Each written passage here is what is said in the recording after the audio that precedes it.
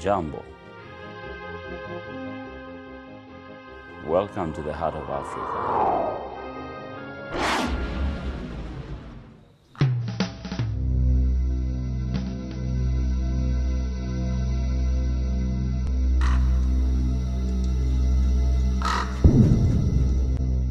To appreciate the wild and natural beauty of this land, a ride in one of the hot air balloons is a rewarding and great experience of the splendor of this paradise.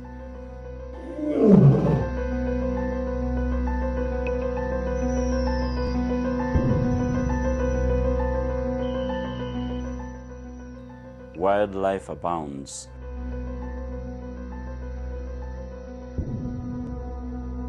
You see antelopes, zebras with their neat stripes, bestowed with innate beauty and wealth. This is God's lesson book for humanity.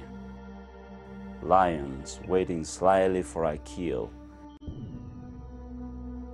Elephants,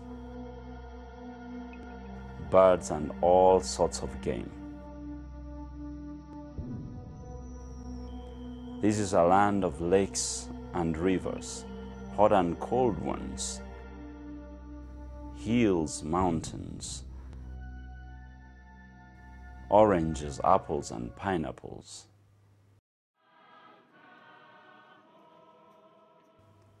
Tucked at the heart of Africa is one of the fastest growing divisions of the Adventist Church. Born in 2003, ECD was born to serve with a promise to grow. With a current baptized membership above 2.5 million in a territory spanning 10 countries, ECD has been growing in service.